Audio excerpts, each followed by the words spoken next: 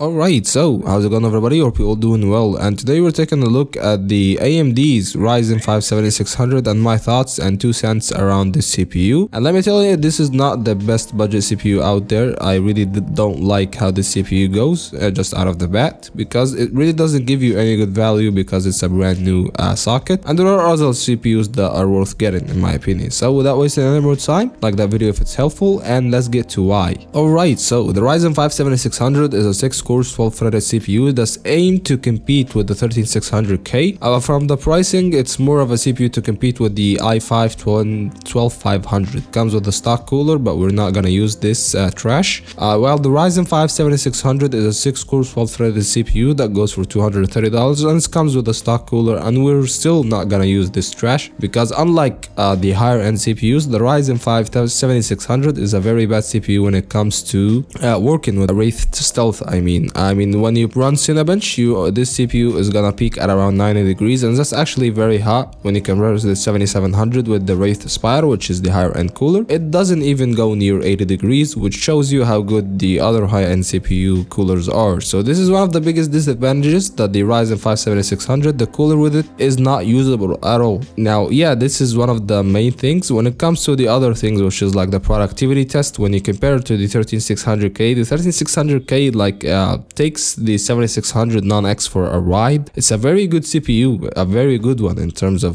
actual benchmarks, and it's not a competitive price. And let me explain to you why. For example, if you want to go with a 13600K and another cooler, and uh, maybe a B660M board, which is a cheap board, or a B760M board even, is gonna be for a lot cheaper than the Ryzen 5 7600 and would still perform the same in gaming or multitasking actually miles better. But if we're looking at the CPU to compete with it, which is the i5 13500 and a B660M board, that's like $250 with a cooler of course, and the cheaper 32GB DDR4 RAM, so the total cost will be around $420. Unlike the Ryzen 5 7600, the cheapest cost for a whole PC to run is around 550 150 so we're looking at around 100 to 200 dollars difference for only i believe 10 percent difference in gaming when used with the rtx 4090 so if you went with a gpu cheaper like a 4080 or a 4070 ti even you wouldn't find this big of a gap. And this is uh, what the i5 13500 in my opinion is aimed towards. It's aimed towards the 4080 4070 ti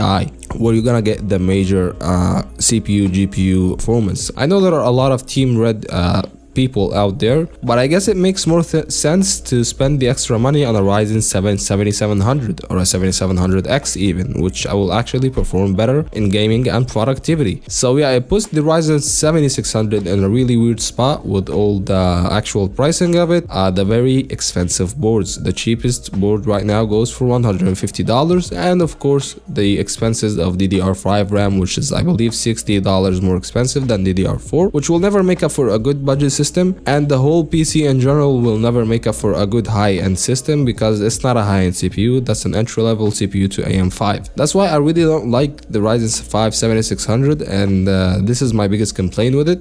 This is now a really bad spot. So yeah, that's been it. If you like the video, press that like button and if you want to see more videos of that, kind, subscribe. If you have any more opinions, leave it down in the comments and I'll see you in the next one.